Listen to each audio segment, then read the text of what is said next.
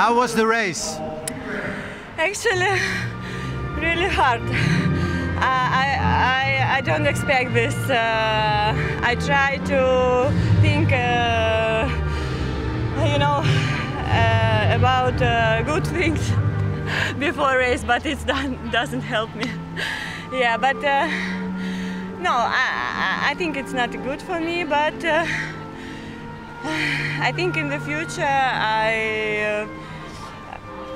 I, I, I want to be better. You, know? you, can learn from this. Yeah, yeah. I feel uh, impact in my in my body. It was tough. Huh? It was difficult. Yeah, it was difficult, uh, uh, especially after breaststroke. You know, uh, uh, after breaststroke, I felt stopped and don't feel my hand uh, and my legs and don't think about anything. Are you happy with the silver? Yeah, I'm happy, but uh, not so happy like uh, when I won silver in the backstroke because it was my best time and uh, I was more happy than today. Okay, congratulations. Thank you, thank you.